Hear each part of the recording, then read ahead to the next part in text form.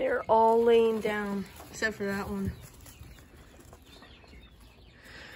They tipped their shavings over, trying to make themselves comfortable.